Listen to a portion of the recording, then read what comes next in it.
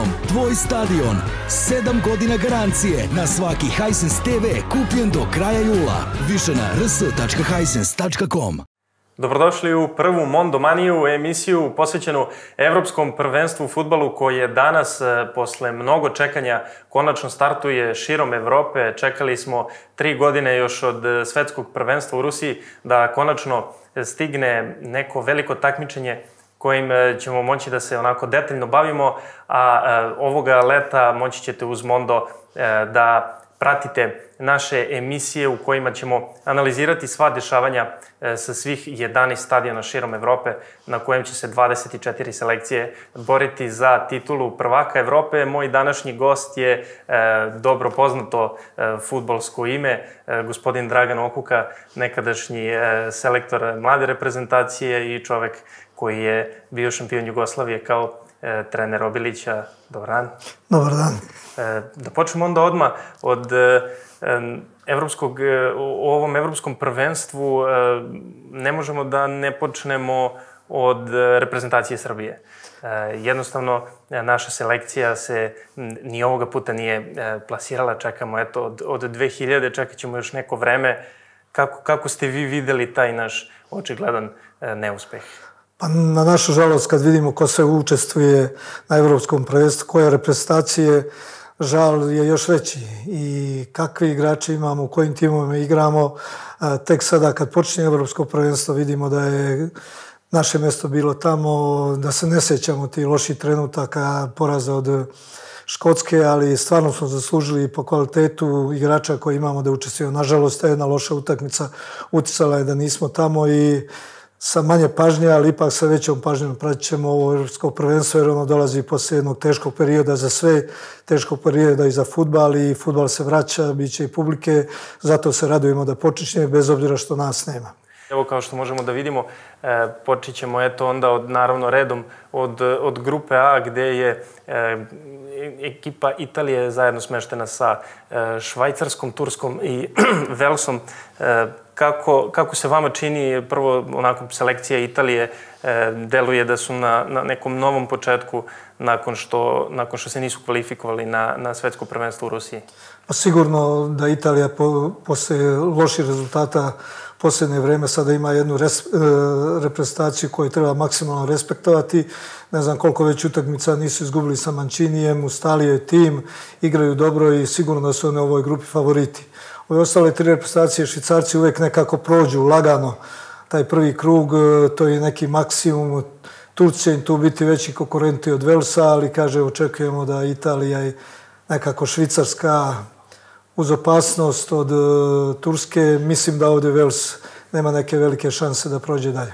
Selekcija Turske je jedna onako zanimljiva ekipa, imaju dobru ekipu sa, sa zanimljivim eh, talentima, predvodi ih naravno Hakan Čelkanoglu iz, iz Milana, ali e, tu je i vrlo jedna snažna odbrana koji njih se čini da će, da će sve polaziti odatle sa, e, sa naravno Čaglarom Sujunčuvom iz, iz Lestera koji je onako postao i, i jedna od glavnih zvezda u, u turskom futbolu. Pa sigurno pravo ste i da u ovoj grupi e, Turska isto igra dobar futbal. U posljednje vrijeme imaju selektora koji je napravio najveći uspjeh, sećamo se u Koreji, bili su treći ili četvrti, sad je on ponovo selektor i, i oni igraju dobar futbal i kažem, e, e, imaju igrače u Lesteru, u Milanu, imaju u velikim klubovima evropski, imaju Ilmaza koji je prvi strelac, koliko Lila koji je šampion Francuske. Mislim da je to Italija i Turska da će proći ovaj krug. Zanimljivo, zanimljivo. Prelazimo na, na, na grupu B, u njoj e, naravno Belgija kao e, najjača ekipa i kao e, glavni favorit. E, oni su jedna generacija koja e, će e, pokušati da ne samo osvoji grupu e, u kojoj su zajedno sa, sa, sa Rusijom, Danskom i e, čini mi se e, Austrijom. Međutim, oni su ekipa koja hoće tako, najviše, najviše ciljeve. Pa sigurno ovo je generacija koja je možda ovo zadnje evropsko prvenstvo koja će igrati sa ovim igračima De Bruyne, Lukaku i svi ostali koji su izuzetno kvalitetni futbaleri. I mislim da oni mogu biti jedna reprezentacija koja E, može napraviti neko iznenađenje i da čak ide do kraja, da bude među četiri reprezentacije, da igra možda polufinale, finale. Vidjet ćemo, iako oni nemaju tradiciju osvajanja velikih takmičenja, u futbalu je jedna tradicija osvajanja velikih takmičenja na strani drugih ekipa u kojoj su Evropi, to su već im Portugalija, Španija, Njemačka, Italija. Tako da tradicija igra značajnu ulogu i to je jedan minus za njih, ali kažem da imaju dobru ekipu za svaki respekt, puno dobrih igrača, Zajedno su već e, dva ciklusa koliko vidimo i možda očekujemo od njih da budu jedno iznenađenje na Evropskom prvenstvu. E, da, u, u grupi B su, e, da se ispravim, Finci, a ne Austrijanci. Austrijanci su u, u narednoj grupi, Finci su e, debitanti. E, onako, dosta je znako pitanje šta uopšte mi možemo da očekujemo od njih, ali eto, oni su uspeli da, da, da se prvi put plasiraju, mogu li oni možda da bar pomrse račune Rusima i, i, i pa, Dancima? Skandinavci su uvek teške ekipe za igrati i Fin su jedna od tih ekipa, bez obzira što su... To je baš njihov stil. Stil, onako, bez obzira što su debitanti na Evropskom prvenstvu, sigurno neće nikome biti lako sa njima da igra, a mm, nemaju velikih igrača, imamo tih igrača koji znamo ovaj Puki što igra u Engleskoj, koji daje dosta golova. E, tako da mislim da će biti tvrdo sa njima svim reprezentacijama, ali da ugroze, da prođu dalje, mislim da je veoma teško. U ovoj grupi. Onda Belgija i? Belgija, hajde mi, je tu Rusija, rekli ste, mi navijamo za Ruse, hajde da navijamo za njih. Jeste, vrlo zanimljiva ekipa. Mi smo već e, na, na grupi C, gde su Holandjani veliki favoriti, u, možemo reći, najslabijoj grupi na turniru pošto se uz Holandiju tu nalaze još i e, Ukrajinci, Makedonci i, i Austrijanci. Oni su sigurno jedna vele sila, svetska, ne evropska, velika tradicija, dobar futbal, napadački futbal.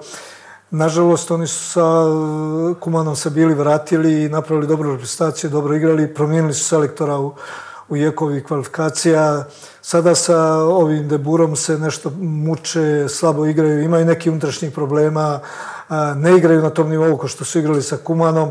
Oni su jedna nepoznanica. Možda mogu da doguraju, imaju sjajne igrače i oni mogu doguraju daleko, ali mogu i da se okliznu. Takva je nekakva klima. Da, oni su nekako ekipa kod njih je uvek ide iz krajnosti u krajnost. Ili, ili su među najboljima ili ih jednostavno e, nema nigde, a u, u toj grupi je i e, selekcija Ukrajine e, gde je e, čovek kojeg e, svi e, vrlo dobro znamo, Andrij Ševčenko, i dobro pamtimo Ukrajince iz onih mečeva sa, sa Srbijom u tim, u tim e, kvalifikacijama. Pamtimo je ni 6-1 najviše, što nas boli.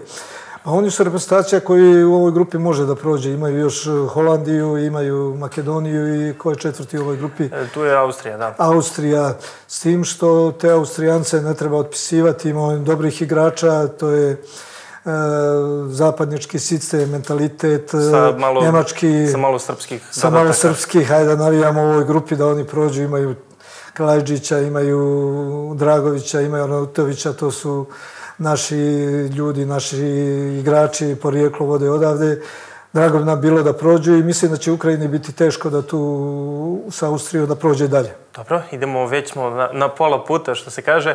Englezi su u grupi sa Hrvatskom, Češkom i Škotskom. To je ona famozna grupa u kojoj smo mi mogli da se nađemo, da, da smo malo bolje odradili taj meč prošlog novembra. Međutim, Englezi sa Gerretom Southgateom, jedna onako vrlo zanimljiva ekipa sa dosta mladih poletnih igrača koji žele da pred svojom publikom naprave konačno neki veliki uspeh? Pa, Englezi su velika futbolska velesila normalno. E, već duže vreme imaju jedan e, istog selektora, on je bio na svjetskom prvenstvu u Rusiji, sad isti selektor, gotovo isti igrači. Možda je hendikep za Engleze što nemaju osim, ajde recimo, Kejna, veliki igrača, njihovim vodećim klubovima u Engleskoj su vodeći top zvezde stranci. I to je jedan veliki hendikep, ali kažem, u kontinuitetu dugo igraju zajedno igraju dve, tri utakmice kući, većinu utakmica će igrati kući i publika se vraća na stadione. Tako da je to jedna velika prednost za njih i trebali bi očekivati da možda prođu ne samo grupu, nego da prođu i što dalje. Da, ova grupa je onako čudna zbog toga što e, prvoplasirani u ovoj grupi će se, tako reći, ukrštati sa onom najjačom grupom e, u kojoj ćemo kasnije pričati gdje su e, e, e ove, Francuzi, Portugalci i, i, i Nemci sad, tu je pitanje hoće li se ovaj, Englezi i, i Hrvati takmičiti ko će da bude drugi, ko, da bi izbegli. Možda će tu biti taktiziranja, iako, ne znam, u tim utakmicama, ako bude puno taktiziranja, može i da budeš treći, pa ne budeš ne drugi ni prvi. Ali, kažem, nako, favoriti su ove dve reprezentacije, ove dve druge reprezentacije, e, mogu da pomrse račune i Engleskoj i Hrvatskoj. Dobro, prelazimo na grupu E, jednu od pa onako manje interesantnih po e, zvučnosti e, selekcija. Tu je naravno Španija, ali tu će biti još sa njima i e, Šveđani, Poljaci i e, Slovaci. Oni su u padu u posljednje vrijeme, bili su svjetski i evropski pravaci i posljednjih godina su u velikom padu, ali oni su velika svjetska velesila sila E, bez obzira što imaju sad probleme sa korona, čitamo da je Enrique pozvao dosta novih igrača, ima neki rezervni spisak, ne znam ni koliko igrača će putovati, koliko će biti u karantinu, znači imaju problema, ali imaju veliki fond kvalitetnih igrača, e, tako da e, možda će to da absolviraju, da to prebrode. Oni su normalno favoriti u ovoj grupi, iako, kažem, posljednjih 5-6 godina u velikom su padu. Da li je sada ova evropsko prvenstvo šansa njih da se vrate, vidit ćemo. Uh, E, koliki je njihov domet, mogu da idu daleko, mogu da se ponovo oklizne, e, koliko će tih igrača da, da im ne igra, koliko će korona da ih ošteti, ali ima jednu grupu gdje ne bi trebalo biti problem da prođu dalje. Koga očekujemo onda uz Špance u drugoj fazi? E, tu su Slovaci, tu su Poljaci sa, sa, sa Robertom Levandovskom koji je jednostavno mašina za golove, a opet tu su i, i Šveđani koji imaju taj svoj 4-4-2 i ne menjaju. Između Poljaka i Šveđana, moj neki favorit e, je ipak da Šveđani prođu dalje. Poljaci osim Levadovskog malo igrača imaju koji bi mogli da presude u tim ključnim momentima, da budu igrači odluke, da naprave razliku. Levandovsko će teško biti jer e, poljska reprezentacija nije Bayern, teško ćemo biti da postiže golove. Dobro, prelazimo dalje onda i na ovu poslednju takozvanu grupu smrti gde nas očekuju tri poslednja ovaj, osvajača velikih e, turnira. To su Francuzi i svetski šampioni, e, tu su naravno i Portugalci koji su evropski, kao i Nemci prethodni svetski šampioni. E, da počnemo od Francuske, mislili smo da imaju možda najjači tim, a onda su oni odlučili da pozovu Karima Benzemu. Pa to je samo nije plus, e, ne znam šta, da li je povrijeđen, čitali smo, ali izgleda nije da će igrati, to je samo plus koji izbor igrača, koji izbor centarfora, koji izbor kvalitetni, velik broj kvalitetnih igrača. Francuzi imaju i nije slučajno da su bili svjetski prvaci, da su prošlo evropsko prvenstvo igrali finale s Portugalijom i oni su sigurno jedan favorita i za evropsko prvenstvo. Kažem samo je plus povratak Benzeme u reprezentaciju i jedan velik e, fond, isti selektor, ne menjaju puno, isti fond igrača, što je velika stvar u danas u modernom futbalu, da se oslanjaju na iste igrače, već drugi, drugo e, veliko takmičenje. Imaju tešku grupu i u toj grupi neće biti nikom lako, ni Nemcima, ni Portugalcima, e, da pobeđuju, igraju između sebe, da li će biti taktiziranja, da li iz ove grupe mogu proći tri reprezentacije, E, dalje vidjet ćemo i to što je realno izvodljivo, ali kažem, niko neće biti lako i sve te reprezentacije mogu biti prve, a mogu biti i treće u ovoj grupi. Sumnja da mogu biti četvrte. U ovoj grupi je Portugalija koja dosta teško igra i igra uh, slabije od potencijala igrače koji imaju sva takmičenja, ali to teško prolazi.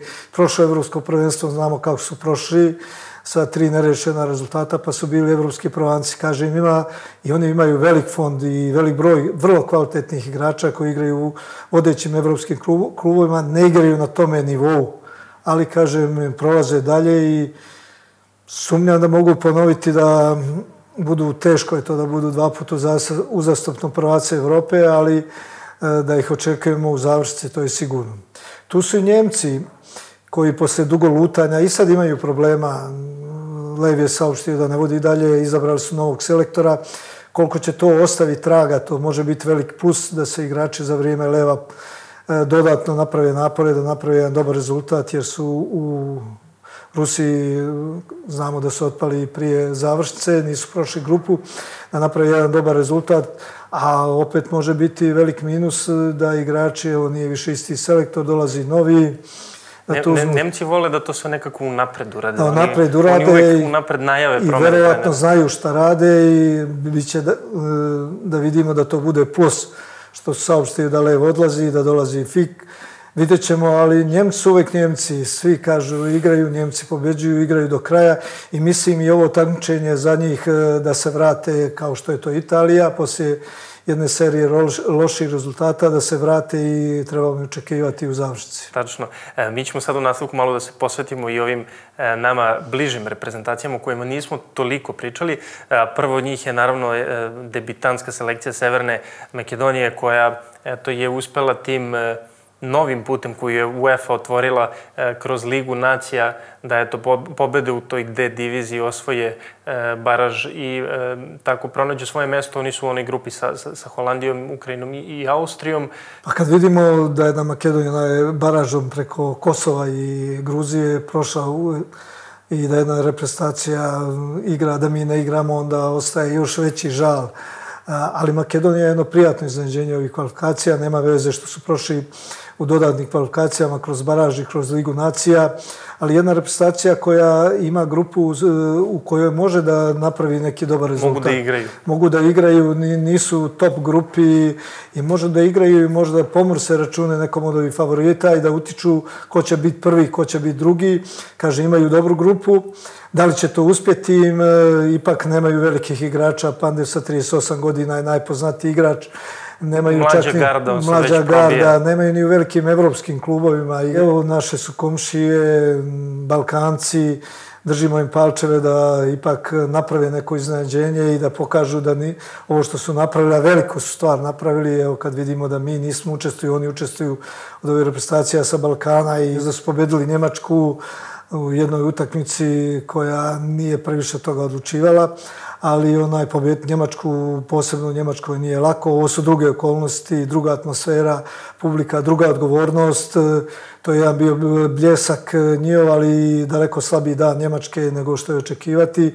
Tako da onaj, mislim da su oni maksimum postigli, ali evo kažem, držimo im palčeve da pokažu i da budu tvrdo orah za sve ove tri selekcije koje su s njima u grupu, koji su apsolutni favoriti protiv njih. Da, verujem da je velika euforija u Severnoj Makedoniji pred eh, početak eh, turnira, a velika euforija je bila u Hrvatskoj pre nekoliko godina kada su Hrvati stigli do finala svetskog prvenstva. Znali smo da imaju sjajnu generaciju, znali smo da je to onako moćna ekipa, ali ne možemo reći da smo ih očekivali u finalu mundijala. Sada, tri godine kasnije, deluju kao e, igrački donekle sličan tim, ali opet kao dosta drugačija ekipa. Pa dobro, njih nekoliko igrača se oprostilo, Čorluka, Mandžukić, ne igraju više, ali Hrvati imaju isto dosta kvalitetnih igrača. Interesantno vodi ih e, Dalić, koji je vice prvak sveta, jedna reprezentacija koja je oduševila u Rusiji. Moram reći da je on bio igrač Veleža kad se ja bio direktor u Veležu. Pa ga poznaje, ja skroman momak, tako se i ponaše, na, ponaša, napravio veliku stvar. Mislim da su posle svjetskog prvenstva u izvjesnom padu, što se tiče igranja i da se oni mučili kroz ove kvalifikacije i kroz ovu ligu nacija i kroz kvalifikacije za evropsko prvenstvo, ali kažem imaju veliki izbor, izbor igrača, oni uvek imaju kad dođu na ta sveska takmičenja imaju taj nacionalni naboj um, i uvek pruže više nego što iko očekuje od njih. Koliko vidim u posljednje vreme i u hrvatskom futbalu su neka previranja, hoće Šukera smijeniti, neće, ko će da igra, ko neće, dosta igrača se nameće, hoće da igra, ne mogu svi da igraju. Vidjet ćemo kako će to Dalić e, da ukomponio, želimo mu sreću i da vidimo dokle Hrvati mogu na Evropskom prvenstvu. E, dobro, hoćemo onda da se polako bavimo nekim našim predviđanjima. Ovaj, prvo, koga očekujemo da e, podigne trofej? Izdvajaju se favoriti uvek, to je Francuska, sigurno sa velikim kvalitetnim brojem igrača, velikim brojem kvalitetnih igrača, mogu da rotiraju. Tu ne trebamo zaboraviti ni Njemačku koja, e, bez obzira što je u padu, rekli smo da je ovo takmičenje koje daje im šansu da se vrate. Italija može biti jedno pozitivno iznenađenje. E, da se oni vraćaju posle jednog e, pada koji su imali. Portugal je uvijek tu. Da li mogu dva puta ponove da bude evropsko prvenstvo, da osvoje evropsko prvenstvo, veoma teško. pa tako da moramo tražiti favorita nekog e, u drugim reprezentacijama. Vidjet ćemo i ko će njih da stigne do, do, do same završnice, a e, koga bismo mogli da očekujemo da bude možda evo, najbolji strelac ili najbolji igrač turnira Pa, sjajnu sezonu imao Benzema, ako bude igrao, ako bude u redu, igrao u reprezentaciji koja daje dosta golova, mogu bi onda da bude, mogu Mbappe, mogu bi Lukaku, jer igra napadački futbal i Holandžan i mogu igre, ako prođu dalje, mogu i oni da dadnu centrafora koji može da dadne dosta golova. Vidjet ćemo Italijani, ali mislim da Lukaku, e, Benzema, Mbappe, neko od tih igrača, Kane, bi trebao da obileži ako bude igrao do kraja i da bude i prvi strelac. Dobro, mi onda idemo da se spremamo za Evropsko prvenstvo. Mečevi uskoro počinju i čeka nas mesec dana e, futbolskog ludila. Svaki dan će biti e, mnogo utakmica za e, sve ljubitelje futbola, a vi uz Mondo nastavite da e, pratite i Mondomaniju i sve naše sadržaje vezane za Evropsko prvenstvo. Prijetno!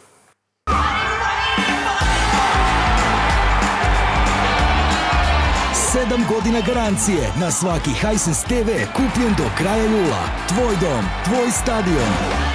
Više na rs.hisense.com